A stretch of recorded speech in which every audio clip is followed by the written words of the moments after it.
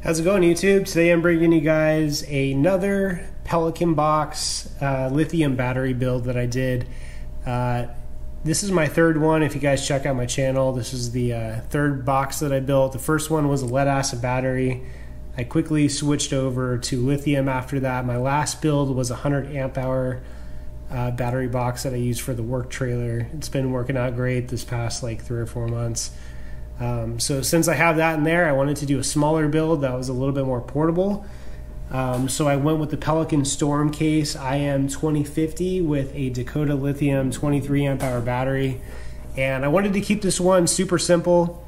And the main reason why I did that is if you guys check out my channel, this is a Pelican speaker box build with a DC charge port at the top. So I wanted to build this box to actually use that all day if I needed to uh, when you're having parties and stuff. So let's go through the build. So basically, I went with the Pelican IM 2050 Storm case. It was like 65 bucks. Um, it's a really solid case. I actually really like it. I'm probably going to do a second build.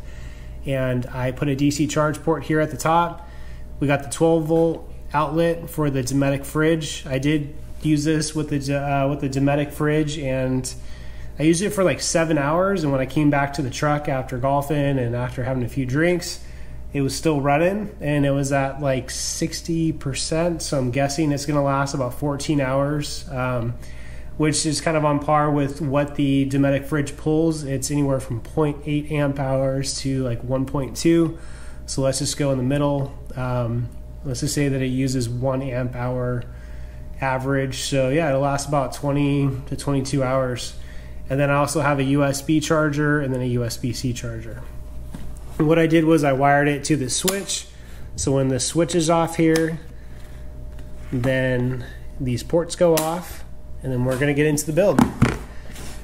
So this one was actually pretty simple. It only took, I don't know, like an hour, hour or two.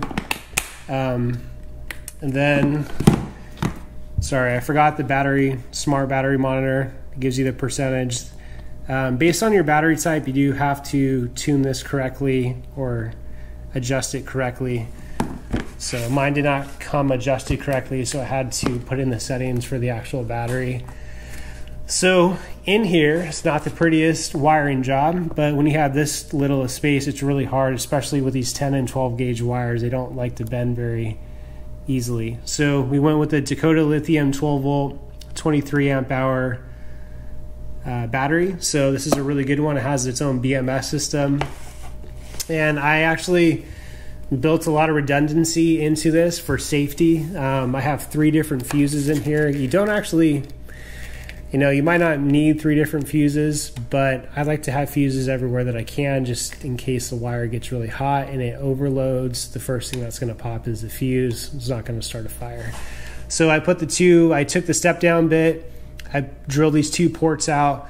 This wiring does come with these um, outlets, so I didn't wire these myself. It came with it. So what I did was I put those in. I cut this. I put this on a quick disconnect with the fuse. So we have fuses going from the power to the switch, and then we have another fuse going from the load to the outlets. And then I also have a SAE charger right here that I put on its own fuse. This is either an 8 or a 10 gauge wire.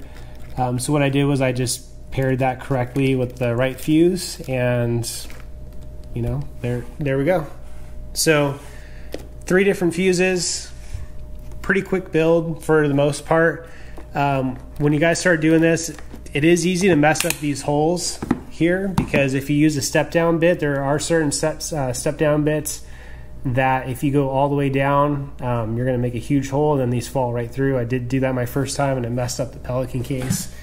Um, so just be aware of that when you're building it. hope you guys don't make the same mistake as I did because I wasted like 65 bucks. so yeah, this is it. So I'll go through how I use this. So when I want to use the when I want to use the speaker, what I do is I just plug that in there and then the speaker goes on and then we just crank the music.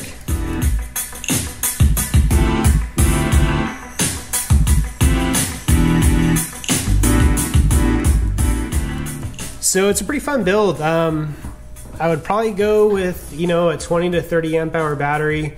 I've kind of realized that that's a pretty good size to do what I want to do for running the fridge, charging the phone battery. Um, what I might actually do next with this build, with the battery box build, is make my own lithium ion battery pack. I still have to do a little bit more research on how that works with the voltages. You know, each EBL battery being like 3.2 volts. Um, I just want to make a 12 volt system with a lot of milliamp hours. I know this one's 23,000 uh, milliamp hours. You can get a lot more in that same space if you solder your own battery. So that's going to be my next project. Um, if I use that same space, I'm guessing I can get you know, in this space right here, maybe like 30 to 40,000 milliamp hours worth of batteries in there. Of course, it's going to increase the weight, but its capacity is going to be a lot higher. I just don't know exactly how I'm going to do that yet or how exactly to do it. So that's the next project. Um, yeah, so hope, hope you guys enjoyed the video. Feel free to comment. I'm going to put all the uh, parts in the description below. I don't get kickbacks from it. I don't want kickbacks. It's just so you guys have a quick reference as to like what parts that I used. And uh, yeah, let let me know what you guys think. If you guys have any questions, I'll help you out as best as I can. And thanks for watching the video.